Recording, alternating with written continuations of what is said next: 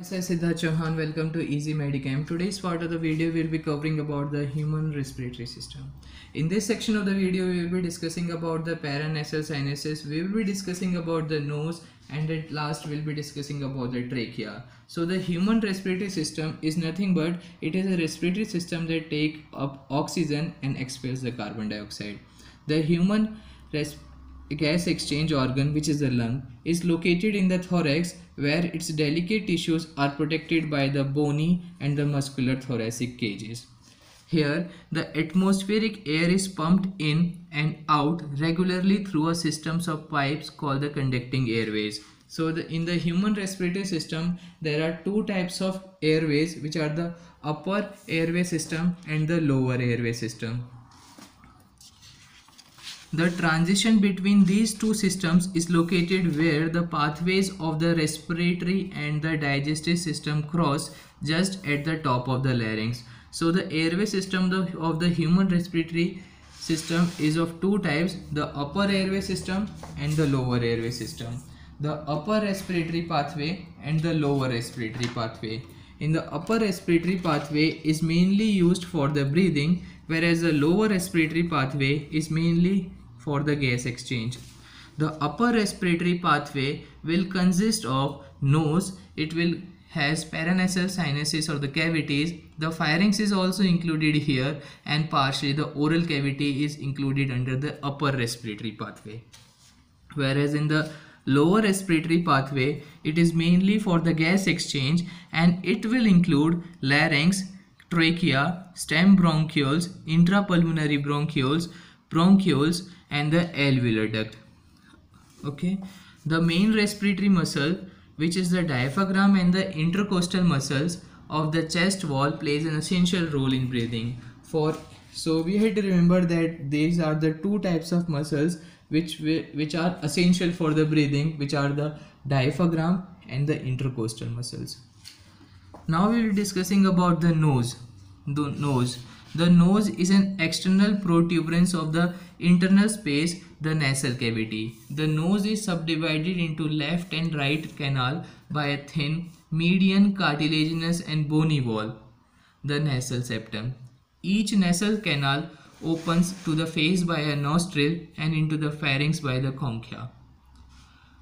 The floor of the nasal cavity is formed by the palate which will also form the roof of the oral cavity. So this is the palate which will form the floor of the nasal cavity and it will also form the roof of the oral cavity. The nasal cavity has a projection of the bony ridges. So the bone in for the internal structure plan, the nasal cavity has a bony projection or the bony ridges which are the superior middle and the inferior turbinate bones so we are having three types of turbinate bones in the interior of the nasal cavity which are the superior middle and inferior concha and it is also named as a superior middle and inferior turbinate bones. From the lateral wall it will arises of from the lateral wall of the nasal cavity.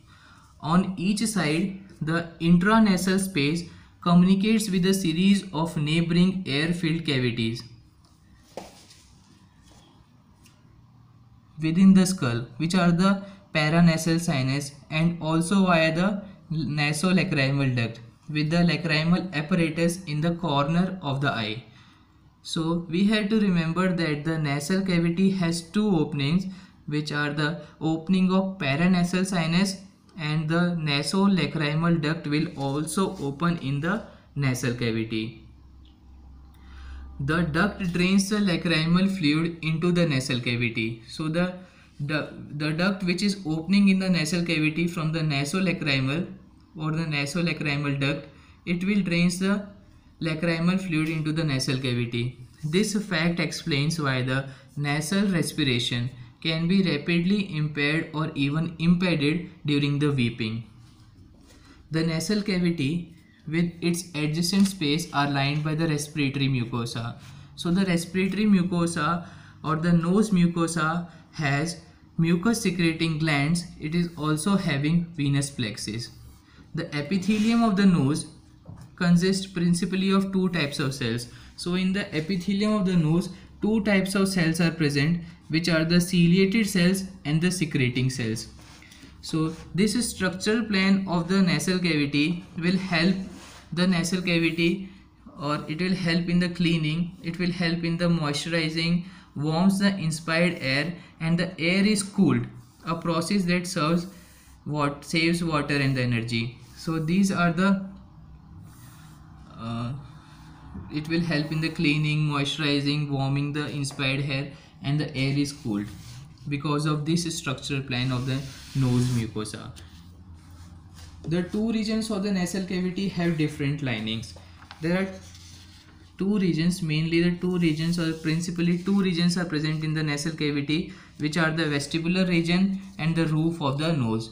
The vestibular region is lined by skin that bears a short thick hairs called the vibrissae and the roof of the nose has a sensory epithelium with olfactory bulb. So these are the two types of regions which are present in the nasal cavity, vestibular region and the roof of the nose, which are the which has a different lining in the nasal cavity. Now we will discussing about the paranasal sinuses. The paranasal sinuses are set for paired single or multiple cavities of variable sizes. Most of the development of the paranasal sinuses take place after birth and they reaches the final size towards the age of 20. Principally we are having three four, four types of paranasal sinuses or the bones which will form the paranasal sinuses are the maxilla, frontal, ethmoid and sphenoid bone. And we are generally we are having four types of max, uh, paranasal sinuses maxillary sinus which is the largest of all these sinuses we are having frontal sinus we are having ethmoid and then we are having a sphenoid sinus so these are the four types of sinuses or the four types of bones which will form the paranasal sinuses. Now we will be discussing please like share and subscribe. Easy MedChem and press bell icon for more notification